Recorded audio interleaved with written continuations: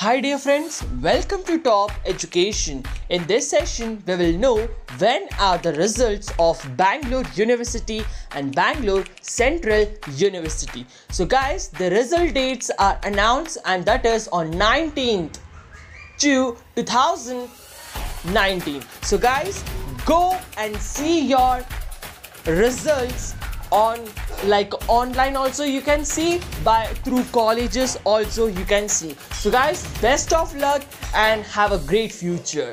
And guys be connected with us through top education because we are conducting second sems all videos through you. So guys be with us and thank you for watching this video.